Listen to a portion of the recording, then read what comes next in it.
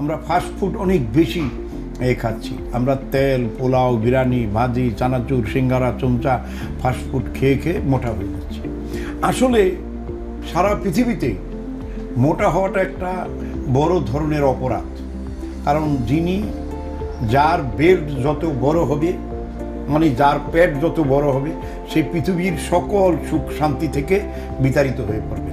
সীমিত খাব, নরম খাবার খাব। সহজ পাচ্য খাবার খাব।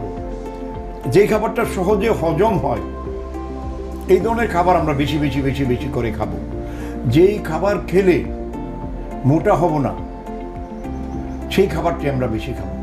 আমরা মাংস খাওয়া একটু কমাই দিতে হবে, পোলাও বিরিয়ানি খাওয়া কমাই দিতে হবে, শাকসবজি বেশি খেতে হবে।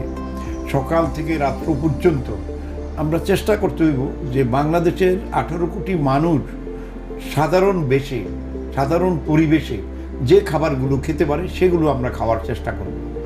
আমরা যেরকম সাধারণভাবে সকালবেলা ঘুম থেকে উঠে হয় চিড়ে এবং দধি। না হলে দধি এবং একটু গুড় দিয়ে আমরা দিন আরম্ভ করতে পারি।